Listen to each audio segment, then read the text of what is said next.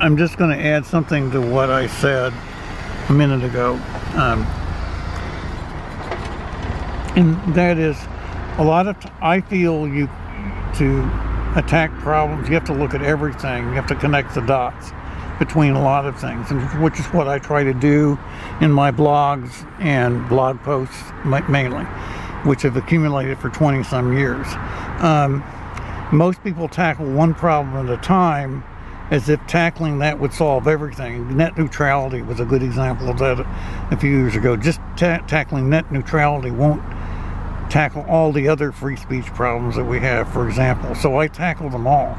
But when a lot of people do, when enough people do try to do things that what I do, and, and it doesn't pay for itself, if they do it because simply they have the resources accumulated from something else, that can disrupt seriously the way nonprofits work and their ability to get social change in a normal way. So there's a real issue that the way I work could, if, if it scaled, even though I don't have real impressive numbers, I still have a, some influence um, on what policy turns out to be because the way I do it and the people I know.